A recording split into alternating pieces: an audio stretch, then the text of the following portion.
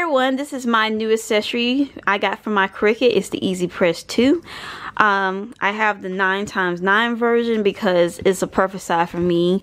Um, I did see the biggest one and it was too big for me so I had to get the medium size and the smallest one was too tiny so this is a perfect size to get if you want to do just shirts, maybe little small little bags or anything like that.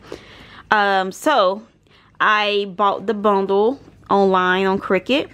Uh, I got a great, awesome deal. I bought the accessories separate. And since they had a deal going on, you get, I think, 40% off. And on top of, you know, 10%. Um, and I think they was on sale as well. So I got a great deal on this. And also the bag. And the bag is huge.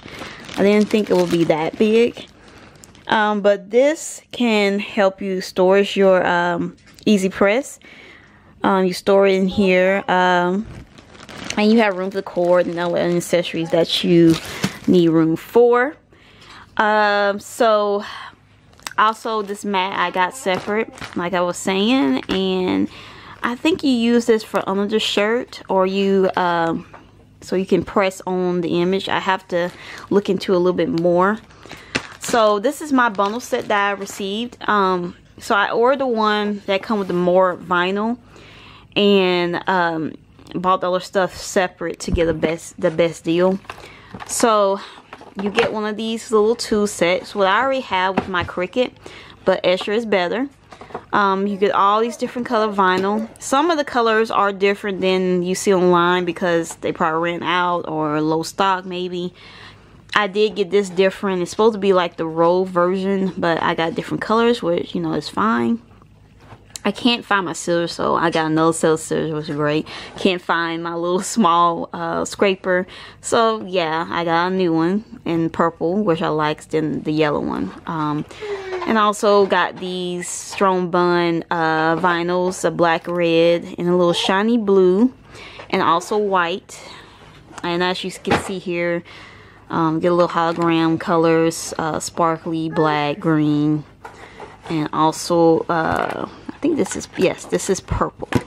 So it's a great sale on online, so I would definitely recommend you buy online um, than the stores. Um, so that's pretty much it what I have. And I also bought some little stuff for my Cricut that I'm going to use for my wedding. And this is the glitter paper.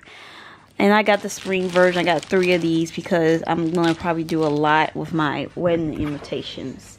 And I can't wait to share with y'all my projects I do with this. I'm going to probably do probably one or two videos because, you know, it's kind of pointless to get see so many on, online now uh, for videos. Uh, but I'm going to share with y'all a project I do on here. And I definitely think this is better than the Ein. And I really um, think you definitely need to get this if you want your projects to come out really nice and good and last a long time. So pick up this and also a Cricut. like and subscribe.